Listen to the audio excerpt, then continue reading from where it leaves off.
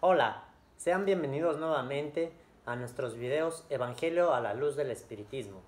En este primer video haremos uso del capítulo 5, versículos 17 y 18 del Evangelio de Mateo. Mateo habla en ese, en ese versículo, eh, yo no vine a destruir la ley. Ahí Cristo eh, muestra la esencia de, de que él no iba a desestructurar una ideología que ya venía aconteciendo con Moisés. Sin embargo, él venía a revolucionar conforme al contexto en el que él se encontraba y obviamente adicionar ciertas ideologías, ciertas bases que se habían perdido eh, con el transcurrir de los años con la, con la ley mosaica. Al mismo, al mismo tono, al mismo sentido que, que Cristo dio para esas palabras, el espiritismo tomará ese contexto el espiritismo no viene a destruir la ley, no viene a destruir lo que Cristo y lo que Moisés realizaron. Así como, como Cristo adiciona y reestructura lo que Moisés dijo, el espiritismo vuelve a, darle un énfasis con base en el contexto sociohistórico en el que la, la doctrina espírita surge. ¿Por qué es importante que comprendamos esto?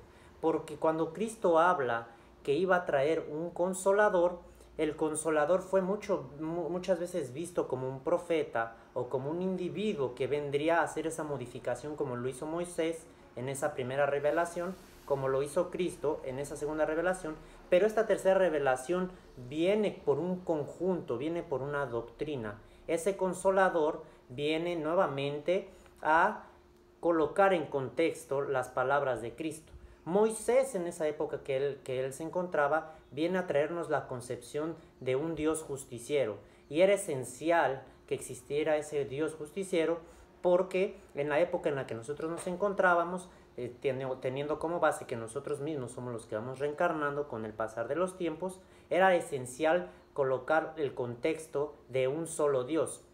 Posteriormente Cristo adiciona no solamente un Dios justo, sino un Dios Padre, un Dios amoroso, entonces Él viene a mostrar un contexto diferente sobre ese Dios que tenía una ideología más de castigador, ahora viene una, con una ideología más de padre. ¿Y qué es lo que viene el espiritismo a adicionar a, esa, a esas doctrinas?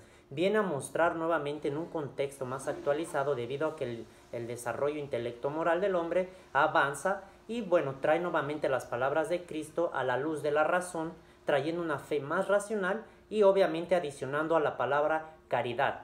Con esto se junta la ley de amor, justicia y caridad que rige al cristianismo en sí y a las palabras de Cristo. No duden en visitar eh, nuestras páginas eh, y nuestras redes sociales. Aquí podrán ver, eh, estarán apareciendo. Y cualquier duda o comentario pueden colocarlo en el video o hablar directamente con nosotros por medio de esas redes sociales mucha luz y mucha paz.